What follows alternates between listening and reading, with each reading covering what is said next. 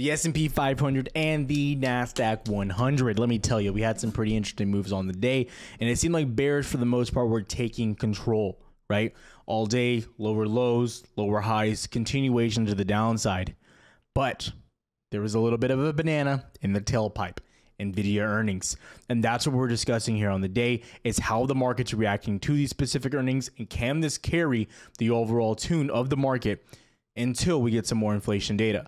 That's what's at stake right now. Because if this cannot hold up, you're going to see pain across the market. So, a few signs, a few things that we're looking at that paint the story for the next basically week, week and a half. Let's get right to work. So, one, let's get right to it. So, with NQ, uh, really great movement to the downside. You were literally like 15 points away from our little uh, demand zone down here. So, we were slightly off, but that was our target so so close. Uh, but we were slightly wrong here. We will say 15 points wrong. It is what it is. But what we're looking at here, for the most part, few concerning signs. Okay, you are making clear lower lows and lower highs on at least the four hour type of time frame here. Finally, making some lower lows, lower highs. And this constitutes a little bit of a bear trend in these shorter term time frames, right? I'm um, giving you the best, for instance, is if you go all the way back, you know, to something along the lines of what kind of happened back here July through October. Now, I'm not saying that's happening right now, but this is the best case I can give you an example of. What was like taking place there? Okay. Um, and so you're really seeing if you can start breaking previous lows, because if you start breaking previous lows around these levels down here, that's where things get interesting. And that's where you say, okay, maybe bears start taking control and maybe we kind of move the trend at least, you know, maybe into May or June when they start cutting rates there. Um, but that's what we're looking at right here. That's the concerning part so far. You can see too, even with our Lux algo indicator up here, you're only making supply levels on the top side, right? You're not really creating any demands. There's no strong sight of buyers just yet. You know, go to the two hour, we look at what's happening here as well. Now, again, you can see that I was just about to mark it out. You have a supply level here. So again, into tomorrow, I'm looking for around a 17.8 touch or move into that. And then the reaction from there will be key. You can also see your previous swing high here before we broke out into all all-time highs. And you can see how we broke, retested, and continued on up as well. So again, very big level coming in here that we'll be watching. You do have a little bit of support, some volume that stepped in down there, but in my opinion, I would have to argue um, that this is going to be a little bit more key. So if we reject here, it's going to be pretty gross. But I will say uh, the buying volume there was very high very high amount of, amount of buying volume that showed up. And again, that shows back up because of what happened with NVIDIA earnings. Okay. Now, again, if you are interested in what's these algos and what's happening here with our supply and demand levels, the link is down below. You should get like 15, 20% off uh, when you use our link click, um, but make sure you check them out. Now, also, too, ES. Okay. So again, we're automatically looking for some potential upside just to start the day tomorrow right now. As of right now, that's what I'm looking at. Okay. Zoom out here. We look really quick we basically have three levels we're really looking at here on ES, the S&P futures. Okay, you have a lot more demands down here. Our main demand was down here near 49.55. Again, we were four points off. So tough, so close. Um, again, but these are the levels you're looking at. Let's cover them and exactly why we like them. Number one, 50.29 right there. That is your previous all-time high from 2021. That's probably your biggest level here. If ES were to break and mount this, you're expecting a pushback into all-time highs. I'll go back into that here in a second. Next up, the $5,000 level right here, 49.97, 49.98, basically 5,000 That's just a major pivot point on NQ. It just it is what it is, right? It's like S&P 500 holding 500, same thing, right? Coming down here, 49.55, it was basically your SR flip until you had this really massive push into all-time highs where clearly the momentum shifted, okay? Very big. These are your three levels right now. Now, what I will say here, the difference you can already tell between looking at ES and NASDAQ. ES is much, much stronger. Let me go into exactly why. Although you're making lower highs, right? You are currently having two lower highs being made. You are not making lower lows. That's the concern for bears here. You're possibly putting a, a higher low here, right? So then you're looking more of a breakout of these, you know, lower highs you're making. If you get the breakout here, it's highly likely you shoot up highly, highly, highly likely. So what does this tell me right now? It shows me on this pullback that where there was weakness, it was tech. But the interesting part is that you're seeing Dow and ES hold up far better, far, far, far better than tech. Extremely better. Like NQ still looks incredibly, incredibly bullish here, right? incredible. You didn't even get close to your demand zones down there. So again, as I look at this side of it, I'm like, man, the markets are still very strong, and it was just just a little bit of a tech pullback currently, right? And that has to be the main thing on your mind right now as far as looking at this. Now, again, going into tomorrow, although I'm expecting upside, what I will say, this is edgeful. We go to the data analytics here. You know, Tuesdays and Wednesdays are our choppy, potentially red days. Thursdays and Mondays are the highest percentage green closing days on the market. When you look at Thursday, you have a 61% chance to end the day green on the S&P. 76% on Monday. Mondays are literally your best days possible. It is what it is. Okay. But Thursdays, pretty interesting how high this is now. This number has been dr- jumping over the past few weeks. Thursdays have been some of our best reversals and upside days. And then Fridays, you would t- traditionally get some good closing, but it's just like a little bit of continuation from that Thursday. Thursdays have been the heavy lifting days over the past few weeks. So definitely be paying attention to this. And again, it helps me side with the upside going into tomorrow as of right now with where we're at. So a few things I want to say. Nvidia earnings were stellar, and this was like the really big question. And even though they were stellar, I think you're still like currently right now. Let me make sure I'm looking as we speak. I believe Nvidia, yeah, you're at 730, so you're almost within the measured move. I think the measured move was around nine percent was the expected move. Okay. Now the question is, is does this hold up into tomorrow? Do you break all time highs around 745, 750? Can you get that continuation? If you do, the market will easily run, right?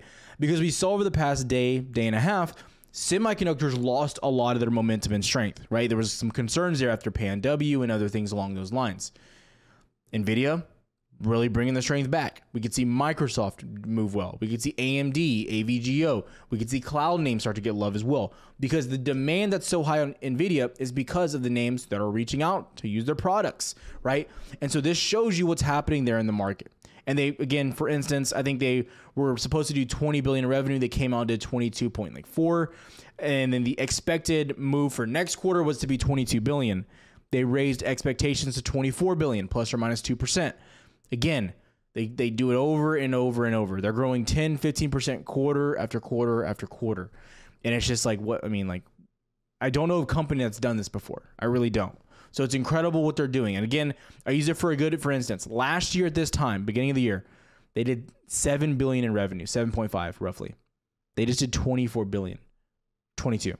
They just 3x their revenue during a recession, arguably, during when interest rates are their highest, when businesses shouldn't be growing.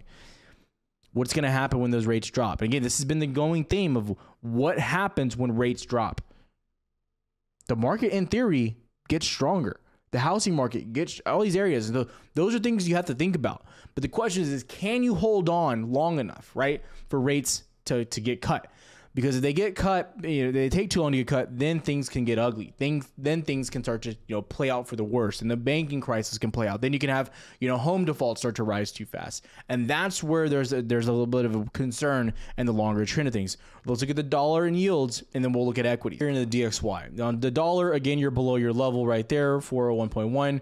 But again, like I said yesterday, you got to get below the 200 SMA to be concerned or to be bearish. The end, you, you have to get below that level. If that doesn't happen, then you're just kind of trending in no man's land until rates get cut or the Fed um, says something incredibly incredibly uh, bullish. Right, the end. Okay, this is what you really care about: the U.S. 30-year yield.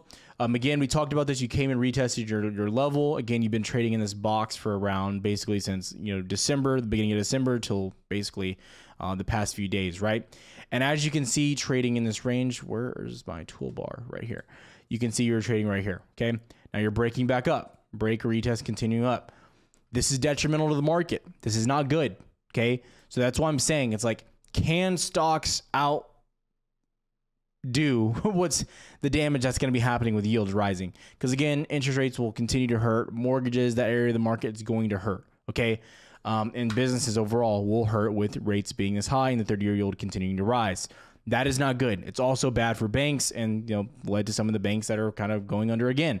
So that's what we have to be concerned with there. Okay, so that's what I'm watching in the grand scheme of things here. Now, I'm not going to do an outro or anything like that. I'm just going to go right into what's happening with the S&P um, specifically. Okay, so we're going to go into stocks that we're liking into tomorrow. Now, again, as we look at the NQ here in the after hours, you continue to rip. ES is pushing towards 529 as we speak. It's doing its thing. It's very, very strong. Okay, it's probably going to continue. I can see NQ hitting 17.8. ES is, I think it's going to break 17 to, or 52 9. So looking at tomorrow, I think semiconductors got to be what you're looking at here. AMD, you literally got back above your key level of 164.5 and you're gapping into 170, 171. Um, for AMD, very simple. The same game plan. Nothing has changed. 174.7. Um, very simple. You want to see the break, the retest, continuation. That's your long on the break of and retest of 174.7. Um, Amazon added to the Dow. Amazon held up really well today your level that you're watching here on Amazon has been 164 or 167 roughly 167.3 you held that level today. But the level to the breakout has remained the same as well. It's around 171 roughly about right there. You've been rejected over and over and over at this level so far. So what you want to see is a breakout of this level. If Amazon can gap up which it's going to do and they can start getting a breakout of this level I'm looking for a uh, for a break of that level and continuation. Again got to be thinking about AWS cloud names things along those lines that are carrying and moving very well right now. Apple into tomorrow. Again, the 200 SMA is right up here. So again, you have a lot. And again, you're going to see it here on the chart, right? A lot of demands here, a lot of short-term time frames, a lot of sellers are stepping in this afternoon, right? But you want to see if you can break above the 200 mount and start pushing towards 187. If Apple gets back over the 200 SMA, I think a 187 push is highly, highly, highly likely. Um, so definitely keep that on the top of your watch list. Microsoft, another big name here. Key levels, key levels, key levels. You want to get back above, okay? You want to get back above around 403, the bottom of this little range down here where you were kind of bouncing over and over, or just even mark right there, right? 403.3, right? If you get back over that range, you're cooking. You could even get a little bit more aggressive if you break over a little swing highs you had here on Tuesday, okay? That's what I'd be looking for. Again, the break retest continuation into 407, possibly even 410. Microsoft's going to get a lot of love on this tomorrow. Highly, highly likely, unless sellers just negate everything overnight, which I don't think they will. Um, I think markets will continue running this up as we speak. Um, personal opinion there. Um, AVGO, very interesting. AVGO is gapping up to 1255. AVGO gets above 1277. You have a little, a few little demands here, but I'm going to tell you right now, I like what I'm seeing you start mounting 1277, you could start breaking back into all time highs. It's highly, highly likely as well. Keep it on AVGO. I do like it a lot. You had a failed breakdown. So again, again, you're just seeing sellers not able to follow through and hold you down. That's been the going theme. Netflix. Okay, again, this was something that was interesting today as well. We've been talking a lot about what's happening here at 576. So 576 in particular here, right?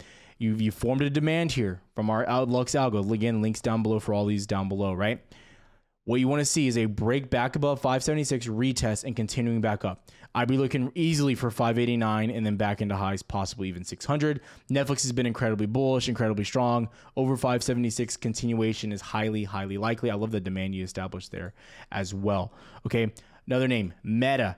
Okay, Meta back above five, five or 474, 480, then 486 back in highs. Simple as that. Last one I'm going to talk about is Tesla. Um, absolute dog. It was one I really wanted to buy this before market close. I just didn't do it. I wanted to be safe. Wanted to practice what I preach. Right, just one post to do. Him right. Okay, 194. We've had some great trades here. The first trade we had was back here. Discord, you remember it. You broke, retested, continued up. Right. Awesome. Perfect. Great. If you mount 194, I'm looking for 197 and then back into the local highs that we had over here and supply level 201 and then possibly into 206. Mounting 194, it's an easy long. You have to be looking for it. Tesla is an absolute dog. It's holding up very well. Bulls are stepping in here. A lot of buyers are stepping in as well. I, and I do think shorts could have to start covering if you get back above the 200 region, it could get very interesting, and this could really start swinging in the direction for bulls. But again, I will say this all depends on how NQ, how ES can hold up here. They look incredibly strong. We look really good. But can we hold this strength? Can we hold this momentum into tomorrow? Will bulls step back in? So we want to see the reactions. Again, the main thing you're watching is can ES mount 5029? If that happens, in my opinion, you're pushing up. It's going to happen. So that's what I'm watching there. That's a line in the sand, 50 29. It's been the line in the sand and it remains it. So again, check out Twitter if you want to see updates. The link is down below as well. I'll see you guys tomorrow. Have a good one.